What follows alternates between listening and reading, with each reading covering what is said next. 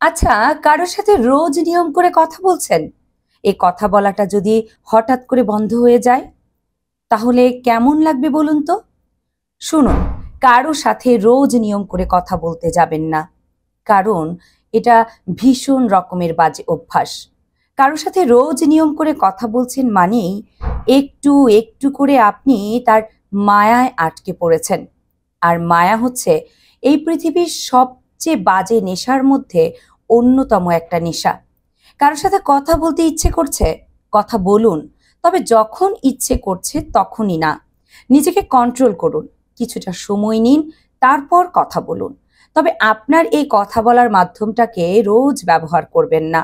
মনে রাখবেন, কারোর সাথে নিয়ম করে কথা বলতে থাকলে হঠাৎ করে কোনোদিন যদি অপর প্রান্তের থাকা মানুষটি কথা বলা বন্ধ করে দেয় তখন আপনার পাগল পাগল লাগবে। দম বন্ধ হয়ে আসতে মন চাইবে। একবার তার কণ্ঠস্বর শোনার তৃষ্ণায় আপনার ভেতরটা হয়ে উঠবে গ্রীষ্মের কাঠ ফাটা রোদের মতো। তখন কিন্তু সহ্য করতে পারবেন না।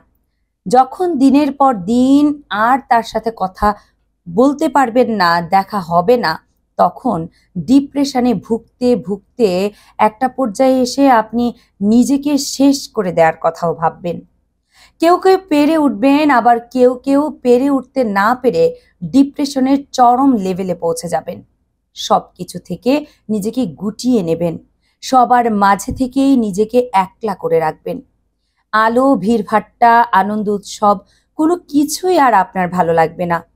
অন্ধকার, একাকিত্ব, নিরিবিলি পরিবেশ, সর্বোপরি নিজের একটা জগৎ তৈরি করে সেখানে বসবাস করাই হবে আপনার রোজকার জীবনযাত্রার চিত্র।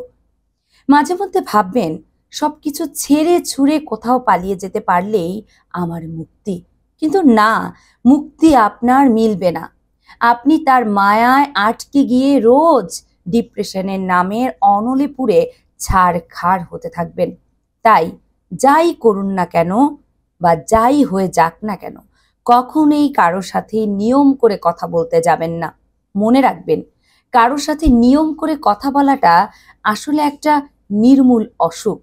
কারও সাথে নিয়ম করে কথা বলবেন না।